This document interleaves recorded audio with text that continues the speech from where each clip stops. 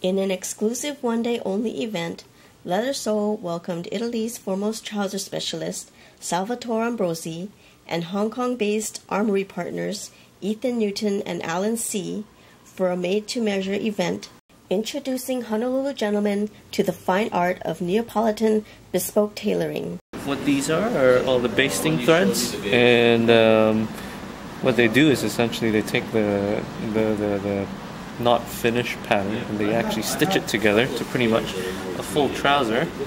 Uh, and uh, they fit the garment to the client, mark up what needs to be changed, and once it's done, they actually have to tear it apart again.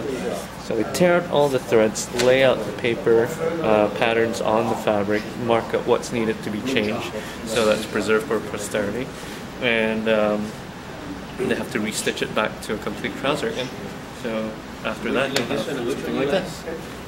Almost all jackets are going to be made even in the shoulders, uh, whereas very few people actually are even in the shoulders. Right-handed people or people that play a lot of sports with the right hand are going to be dropped just from use. Uh, jackets are usually made uh, completely even front to back, so it's if your posture is exactly normal. We have some customers who are very erect, customers like myself that are very stooped, makes a big difference.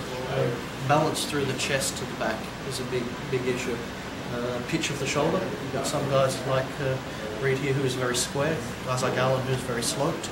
So it makes a big difference in how a jacket fits. Um, and, and then overall dimensions. Very few people are made like that. Uh, if you get a jacket that will fit everybody, it will fit nobody well. If you want a jacket that fits you, it has to be made just for you. In my opinion.